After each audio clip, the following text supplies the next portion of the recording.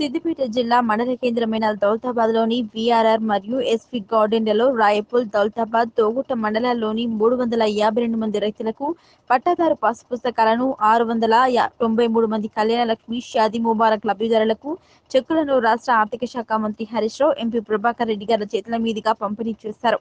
ఈ సందర్భంగా ఏర్పాటు చేసిన సమావేశంలో మంత్రి మాట్లాడుతూ సోలిపేట రామలింగారెడ్డి లేకుండా ఈ కార్యక్రమంలో పాల్గొనడం చాలా బాధగా ఉందన్నారు.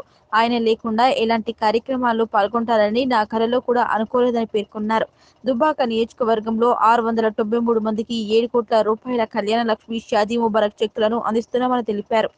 ఆసరా పెన్షన్లు రేషన్ బియ్యం కందిపప్పు తెలంగాణ ప్రభుత్వం అందిస్తుందని అన్నారు. జిల్లాలో విస్తారంగా వర్షాలు కురుస్తున్నాయని జిల్లాలో బ్రహ్మాండంగా అన్ని చెరువులు కుంటలు నిండాయని ఇక పంటలు విరివిగా పండనున్నాయని తెలిపారు. ఈ కార్యక్రమంలో ఆర్డీఓ అనంతరెడ్డి పలు మండలాల తహసీల్దారులు ఇతర ప్రజా ప్రతినిధులు అధికారులు పాల్గొన్నారు. ఏది ఏమైనా వారి ఆత్మకు శాంతి చేకూరాలని వారి కుటుంబ సభ్యులకు కూడా ప్రగాఢమైనటువంటి సానుభూతిని ధైర్యాన్ని ఇవ్వాలని ఆ భగవంతుని నేను ప్రార్థిస్తా ఉన్నా. మరి మీరందరూ కూడా ఇక లేట్ అవుతాం చెక్కులు పాస్ అయినాయి. చాలామంది కూడా ఫోన్లు చేస్తూ ఉంది.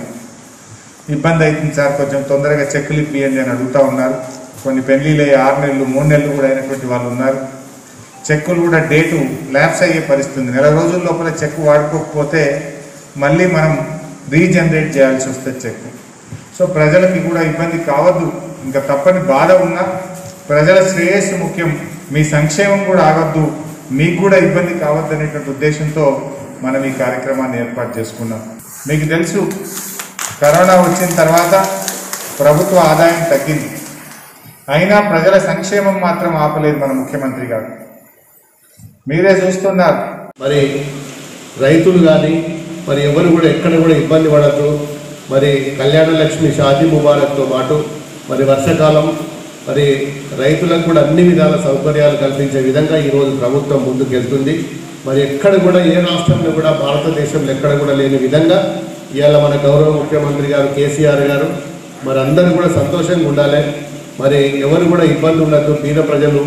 మరి అదేవిధంగా బలు బడుగు బలహీన వర్గాలు క్షేమంగా ఉండాలి అని చెప్పి ఎన్నో ప్రణాళికలు ఎన్నో కొత్త కొత్త స్కీములు తెచ్చి మన రాష్ట్రాన్ని ఈరోజు దేశంలోనే మరి ముందు వరుసలో ఉంచినాం.